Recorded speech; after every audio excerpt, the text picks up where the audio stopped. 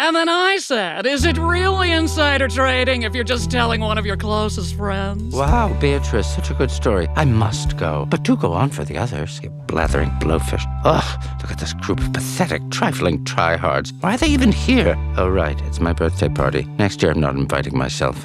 What kind of birthday is it? When they only came to visit just to secure lucrative forms of business. On my day, on my day.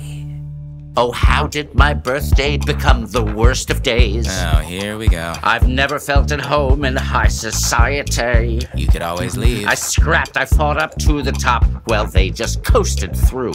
Oh, how did my birthday become the worst of days? Oh, all I want to talk about is rooftop gardens, their second homes, and presidential pardons. Who last Sunday in Santorini with a blue view? How their tax deferred private equity grew. Jack got into Princeton. Have you tried white asparagus? The judge is a friend, so he threw out the evidence. This privilege, it's dribble and embarrassment. Nannies were the closest any of them ever came to being parented. It's her birthday and it's become the worst of days. I'm already counting down. Today she feels the fakeness of society. What a barf on all these We only value what is Now we're asking, how did her birthday become the worst of days? Oh, shush, it's my song. I'm airing out.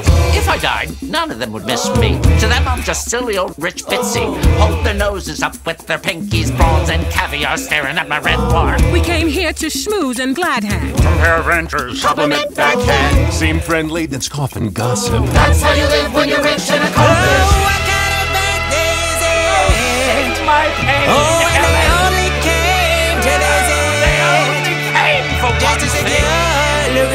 forms of business. On my worst day. Hey, hey, hey, hey, hey.